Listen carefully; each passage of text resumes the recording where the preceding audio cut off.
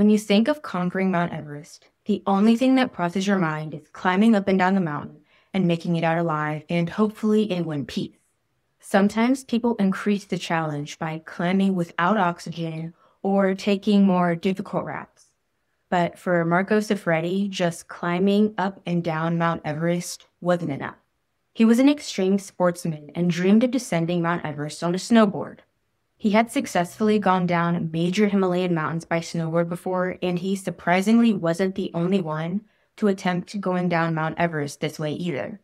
But on September 8, 2002, Marco was standing on the summit of Mount Everest, looking out at what would be his famed descent, with his Sherpa standing beside him.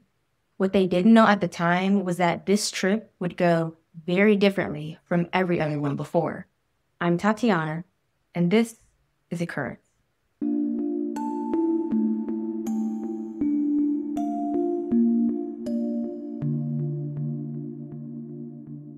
Marco Siffredi was born in Chamonix, France on May 22, 1979, and he came from a climbing family. In fact, he came from a climbing town. Chamonix, France was surrounded by mountains, specifically Mont Blanc.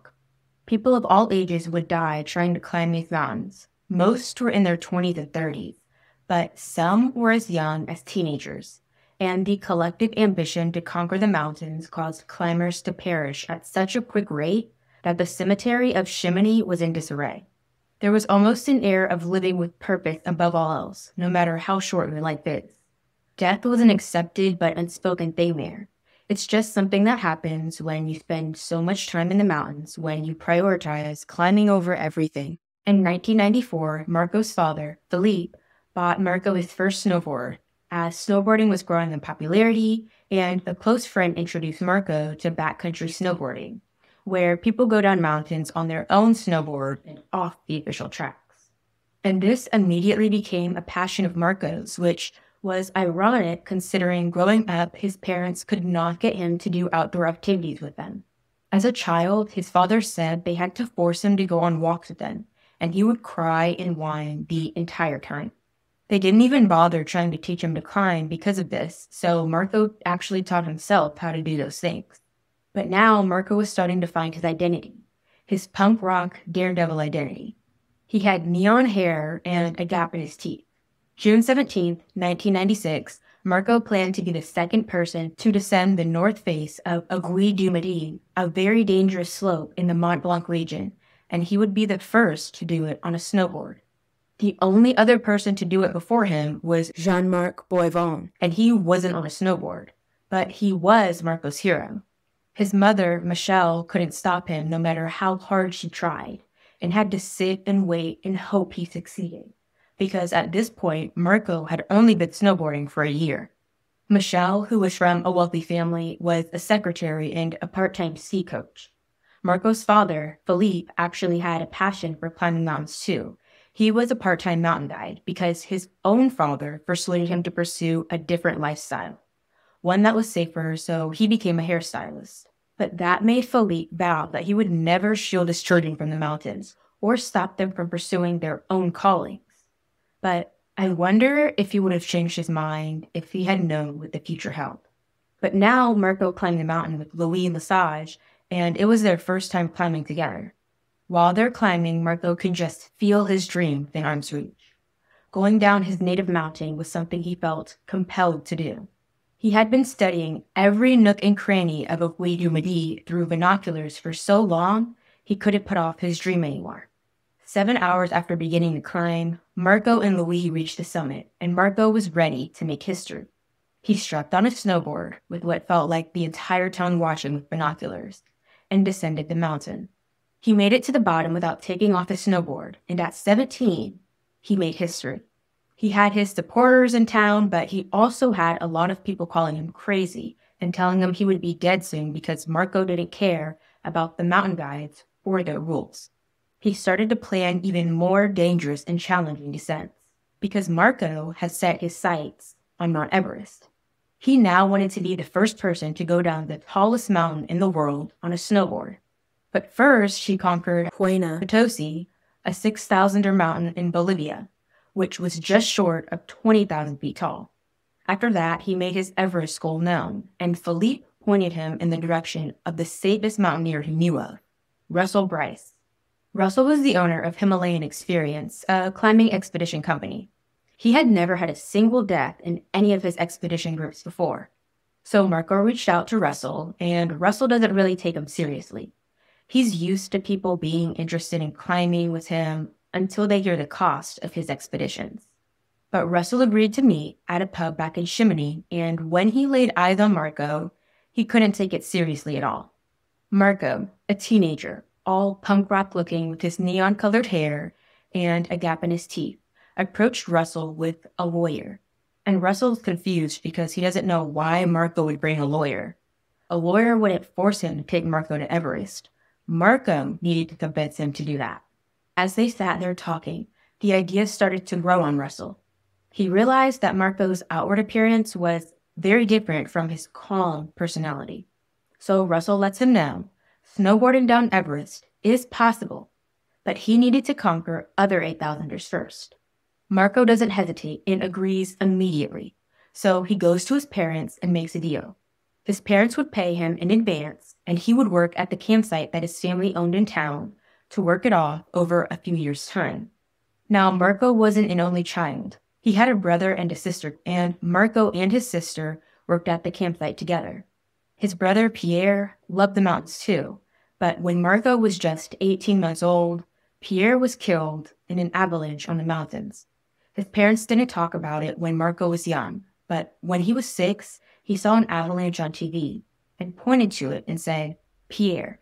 The loss of his brother clearly didn't slow down his ambitions or stop his parents from funding his adventures, and future loss wouldn't stop him either. He conquered all the mountains around Chamonix and planned to travel to conquer more challenging mountains further away. But before he left, one of his friend's mothers gave him a small cross as a talisman for protection, and Marco would wear it for all but one trip. Two friends went with Marco when he left to conquer the mountains of the world Philip Fort and Renee Roberts. Renee was actually a photographer and recorded most of Marco's attempts. Now, Russell told Marco when they met to take things slow. But that's not what Marco would do. First, they went to the 6,000er Tocllaraju in Peru. Then they went to Nepal, where he successfully descended a 30,000 foot mountain named Dorje And then in 1999, Philip Fort was killed in an avalanche, just like Marco's brother. That wouldn't stop Marco, though. In 2000, he went on to conquer Cho Oyu, an 8,000er mountain that was almost 27,000 feet above sea level. And that was the final mountain before Marco felt ready to conquer Everest. In spring of 2001, a few weeks before the planned Everest descent, everyone in the climbing group paid Russell $36,000.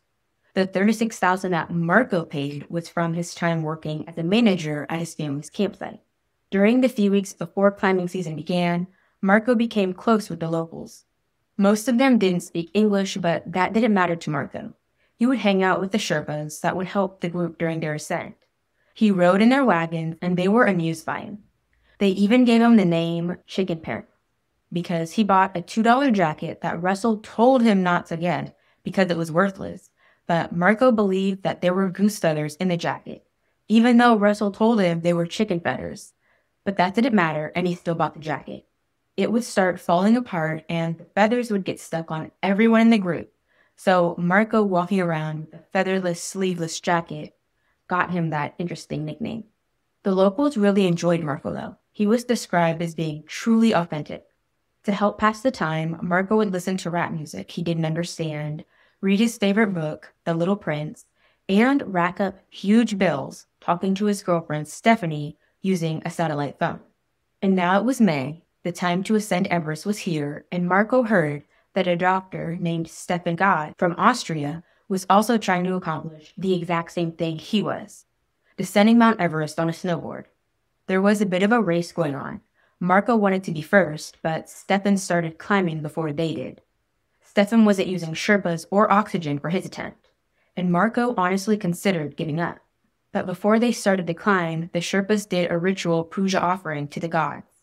Marco was an atheist and had nothing to offer, but he treated their beliefs with respect and offered his own snowboard. And maybe that gave him the luck he needed, because during his ascent, he heard news that Dr. Stefan had made it to the bottom of Everest on a snowboard. But just when he was about to lose hope, Marco then heard that Stefan had unstrapped his snowboard and was disqualified for that reason. With his renewed spirits, he continued to climb, but they had to make a change of plans. With the spring weather, there wasn't a lot of snow on the mountain. Marco's original plan was to come down the Hornbein Couloir, but the lack of snow made that route impossible. Luckily, he did have a plan B. The Great Couloir appeared to have enough snow, so that was the route he would take. On May 23rd, the day after he turned 22, Marco stood on top of Mount Everest. The cold caused the bindings on his snowboard to crack, but one of the Sherpas was able to fix it with some rusty wire. He was wearing the talisman from his friend's mom, and he started his descent. He snowboarded down the mountain, going around climbers still going up. At one point, he stopped for an hour to catch his breath before he continued on. He made it back to base camp in four hours and without unstrapping his snowboard. Marco's success spread internationally. A 22 year old was the first person to snowboard down Mount Everest. Some people felt he should have been awarded the title because he used oxygen, but he was given it anyway. But that wasn't enough for Marco. He was warned to stop while he was ahead and not take more unnecessary chances. But Marco needed to take the chance one more time. The route he took was not the most challenging or dangerous. It was Plan B. Marco wanted to succeed at Plan A, the route he was originally supposed to take, the Hornbein Couloir. So he started to prepare again and went to Mount Shishapangma in the fall of 2001 to practice, but the winds were too strong and Marco had to climb back down instead. Still, the following summer, Marco, Russell, and two Sherpas went back to Chamonix to plan the Everest descent. Various obstacles slowed them down, and Marco needed $50,000 to finance the second Everest attempt. Marco didn't have sponsors. He didn't want them, and he barely did any competitions anyway. He didn't want photographers to document his activities. Pretty much the only person he allowed to take photos was Renee, or the Sherpas. Snowboarding was about purity and being free. He didn't believe in fame and thought it was distracting. But, like clockwork, his father showed out the money and Russell promised to send the best Sherpas with Marco. Before leaving Chamonix, Marco hinted at settling down with Stephanie and getting married when he returned. But on August 8, 2002, Marco unknowingly left his hometown of Chamonix for the last time. Marco met with three Sherpas and a guide named Oliver Besson in Kathmandu. Russell wouldn't be with the group this time. He was in the Himalayas helping with another group since Marco was his only client wanting to do Everest at the time. He would study the north base of Everest with binoculars and could see a lot of small avalanches. He needed to wait for the snow to settle. This wasn't the traditional time to climb due to the dangerous weather. The mountain was practically empty of climbers, but to Marco, it was perfect. The increase of snow meant snowboarding down his dream route would be possible. But with all of the avalanches and the strong winds, that part of Everest was starting to become bare. Marco was in charge of his climbing group, so he controlled how fast everyone ascended and pushed everyone to climb faster. He started to show potential signs of altitude sickness. He had a constant headache and felt tired and lonely. He racked up huge phone bills calling a meteorologist named Jan Giezendanner and his girlfriend back home. The changing weather and snowstorms caused more delays. The group explored the north side on August 28th, and Marco snowboarded on the way back. That night, there was another snowstorm, and they spent the next few days trying to make new plans. They were constantly calling Jan back home for updates about the weather, but the weather changed every day. And then on September 4th, Jan said the 8th would be ideal weather, so Marco began climbing on the 6th. He called his parents and told them he was still at the lower camp to not worry then. But by the 7th, the group had entered the dense zone. When the weatherman called Marco and warned him to descend quickly, because that evening the weather would turn bad, and he wasn't sure what the weather would look like on Sunday, the day Marco wanted to attempt his second descent of Everest. Ending that phone call, Jan Giezendanner would later say, the way Marco ended the call was off, and it scared him a little. Normally, ending a conversation with someone you plan to see again, they would say, au revoir, but Marco said adieu, which is something you say when you aren't planning to see someone again. Marco quickly called another friend after that and said the snow felt great and he felt strong, but the phone ended up dying. And then they started the final push to the summit. They struggled to make it to the top. They were up to their chest in snow, and the Sherpas were working hard to help Marco. At 2 p.m., they reached the peak, and it took three times longer to get there than the first time they went. When they were up there, Marco voiced how tired he was from all the climbing from too much snow. But the Sherpas could see the clouds moving, indicating a storm was coming, and knew they needed to get back down soon. They tried to tell Marco to abandon the plan. It was late, after 3 p.m., but Marco had set his sights on coming down Everest that day. Before going up, people said they saw a change in his eyes. He looked determined, like this was it. It was now or never, and nothing was going to stop him from reaching his goal. They couldn't persuade him otherwise. So Marco changed his oxygen, and in his backpack he had more oxygen, water, and a rope. And without his talisman, since he left it back in Chamonix, Marco looked at the Sherpas, and one of them told him to take care. And Marco said, Okay, see you tomorrow. And then he went down the mountain. The Sherpas quickly started making their way back down, not wanting to be caught in the storm, but could see Marco in the distance. At the same time, news spread around Chamonix that Marco reached the top of Everest, and that's how his parents found out that he had actually started climbing. But while everyone was cheering for him, his parents could only worry, because the only thing they could think of was the time difference between Nepal and France meant that at the time of them hearing about Marco's ascent, it should have actually been news about his descent. He should have been down by now. But they heard nothing. The only thing his mother could think of was not again. They already lost one child to the mountains. A second one would be impossible to handle. While Marco descended the mountain, Oliver watched through binoculars as long as he could from base camp before losing sight of Marco and hoping he made it to a camp that the yak shepherd was preparing for him. But now the Sherpas were arriving at Camp 3 and saw the outline of a person. At first, they were upset because this person didn't turn on a light for them. They thought it was Oliver, who was supposed to be keeping track of Marco at base camp. But then they realized it had to be someone else. Except they couldn't figure out who because no one was supposed to be on the slope that day except for their group. Once they got to the camp, they realized no one was there. There weren't footprints or traces of anyone being at camp, and Marco should have been much lower by now or even at base camp. By the time the Sherpas made it to base camp, still no one had heard from Marco. All anyone could think about was how he didn't come down on September 8th like he was supposed to. He didn't come down the day after or even the day after that. And by that point, everyone considered him dead. Because to survive that long on Everest was impossible. Marco was never seen again, and the Sherpas felt that the silhouette they saw in the distance on the mountain was Marco's in their own way. They felt it was his spirit because he didn't come down the mountain, and no one knows where he's at today. Where his tracks ended, there was nowhere for him to fall into a crevasse or disappear off the side of the mountain. It was a suitable area for snowboarding, nothing too difficult for a talented athlete like Marco. His friends and family went to the mountain to search. His tracks were still visible, and nobody could figure out what happened to him.